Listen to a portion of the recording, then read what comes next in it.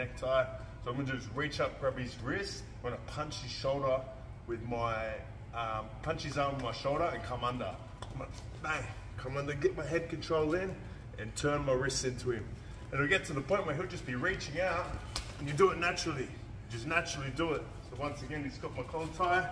From here, I'm gonna grab the wrist, boom, get the head control in and turn my wrist into him.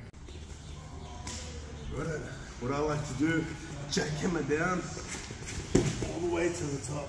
You can get the head, snap it down, front headlock, whatever. So we'll drill it again. Reach up, bang. I'm gonna turn my wrist the wind. Make everything nice and compact. Jack down. Oh, reaches out. Snap it, pull him down, get that foot.